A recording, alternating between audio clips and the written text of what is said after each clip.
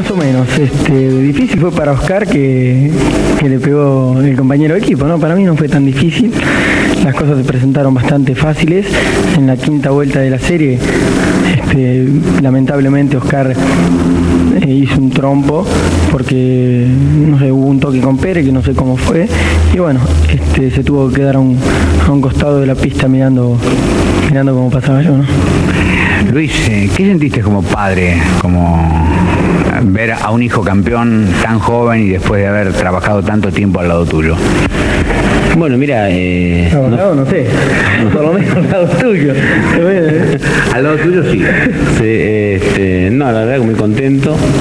Eh, Yo ya tuve una experiencia similar con José Luis, cuando salió campeón de la Fórmula 2 en Record. Y un poco antes también con José Luis, cuando salió campeón de karting, que esa realmente me emocioné porque no lo esperaba. En estas dos oportunidades, tanto José Luis como Marco, preveíamos que podía ser posible. Eh, tuvimos la suerte de que por un toque involuntario seguramente de- de Pérez con, con Oscar se dieron un poquito ante las cosas.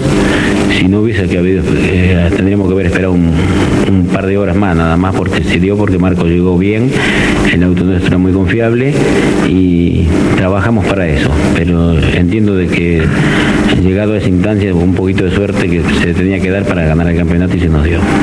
Marcos, eh, ¿te sentías un poco cargado anímicamente de la responsabilidad de que tu padre te había preparado el auto y que estabas a punto de ser campeón? Sí, un poco sí, este, la responsabilidad este, era un peso bastante grande, pero bueno, este, no estuve en ningún momento nervioso. eh, todo lo contrario, muy tranquilo cuando largamos la serie, cuando largamos la final y bueno, este, las cosas se dieron bastante bien. Este sí, lo único que intenté hacer este, al lado de mi padre, ver todas las cosas mejores que se podían hacer. Intenté afrontar el, el automovilismo con, con la mayor seriedad y tranquilidad posible en este, en este año y bueno, las cosas empezaron a dar a favor nuestro y bueno, los resultados se están dando. Este, como siempre digo, somos muy jóvenes, nos podemos confundir mucho, pero bueno, intento confundirme lo menos posible. ¿Qué te gustaría correr alguna vez? Patineta. No, en serio. Eh, La patineta andás de vez en cuando. ¿no?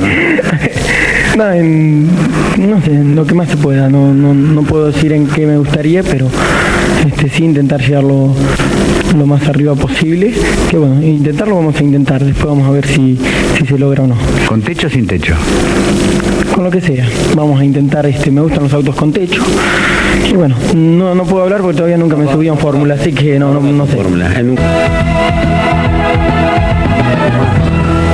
Está realizado, Marcos, 10 años después de estas imágenes. En el 92. ¿eh? Aclaremos, yo dije lo voy a tratar de tomar con la mayor seriedad posible, pero me descarrilé. Pero qué No, pero tiene sus arranques, ¿viste, Cocho? Pelito cortito. arranque pelito corto. ¿Qué se hizo ese chico tan serio, bien educadito? ¿Dónde está? No, no, era, era, era responsable. José estaba en el exterior corriendo en esa época, del 90 al 96, ¿no? Me acuerdo que llegaste de, de Italia y fuimos a correr al autódromo. Ah, En la lluvia Me teníamos cagué sexto, todo. claro. Cargamos la final y claro, y eso, Puesto 20, Claro, encima, eh, creo que del lado mío no había limpio parabrisas, estaba más corrido por el lado del piloto y yo no veía nada. No sabía ni dónde Claro, iba. habíamos largado por allá al fondo y creo que corrimos tres vueltas, cuatro, se suspendió bandera roja. Cinco vueltas y habíamos pasado 13 autos. Sí, pero nos chocamos dos o tres de atrás, pero como veníamos, terminamos sin la media trompa.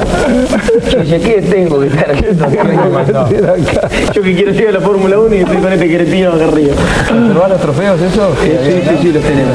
Este, ahí José Luis aprendió y después se fue para allá, para Inglaterra y se lo compraron. Se